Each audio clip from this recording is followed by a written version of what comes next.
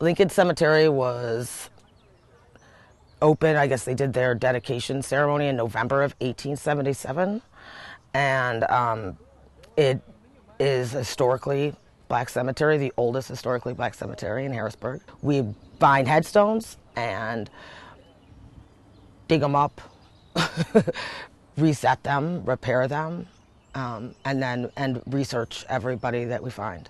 I think maybe in November, like picking up stones that were kind of just like knocked over or face down and reading the names, and then really realizing that there were way you know way more people and that, that their names weren't recorded on find a grave. Um, i think when i started looking at find a grave. There were maybe 800 people that were listed as buried here and now i think there's over 5000 on find a grave